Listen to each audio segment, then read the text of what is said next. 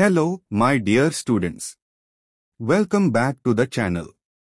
In this video, I am sharing the top 10 short and long questions for the BSc 5th semester subject Applied Nutrition and PH Clinical Dietetics, especially for your November-December 2025 exams. These questions are carefully selected based on their importance, exam trend, and unit-wise relevance.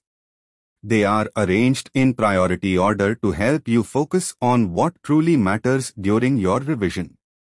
You can find all the supporting resources in the video description, including Important questions Quick revision videos Previous question papers Use this video as a guide for last-minute revision and smart preparation.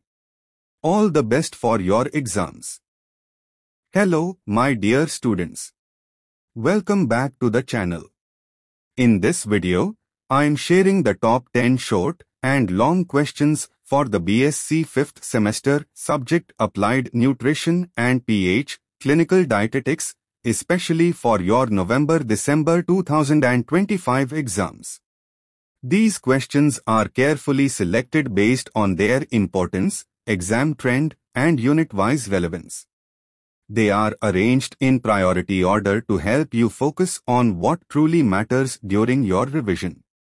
You can find all the supporting resources in the video description, including Important questions Quick revision video